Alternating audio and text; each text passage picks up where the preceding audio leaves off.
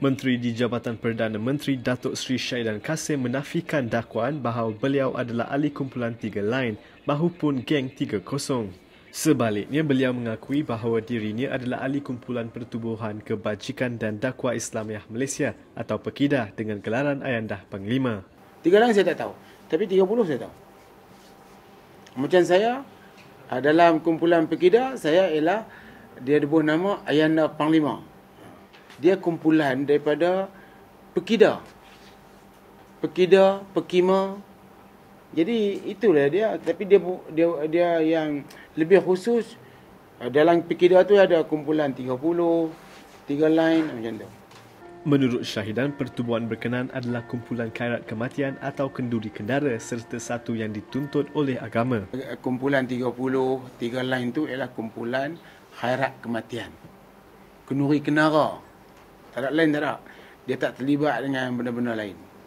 Dan memang yang tu digalakkan sebab apa mereka nak buat kenuri. Kalau orang tu miskin, contohnya miskin, dia tak ada apa. Tapi dia kumpulan yang sama. Tapi dia boleh buat kenuri sampai tujuh ekor lembu. Pasal apa? Ahli-ahli lain bantu dia.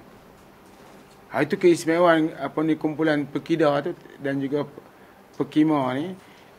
Ha, yang kumpulan 30 tu dia panggil tu. Mereka ni kalau orang tu miskin lah, tak ada duit nak buat kenuri. Dia hanya bagi tahu kat ketua kumpulan saya tak ada duit nak sembelih ayam ya. Kawan ni kata sembelih lembu. Jadi dia akan dia dapat lembu dan bukan lembu dia orang kawan-kawan bagi.